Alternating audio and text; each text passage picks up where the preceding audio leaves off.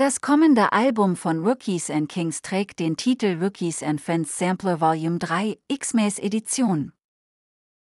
Das Album erscheint voraussichtlich am 26. November 2021 über das Label Rookies and Kings.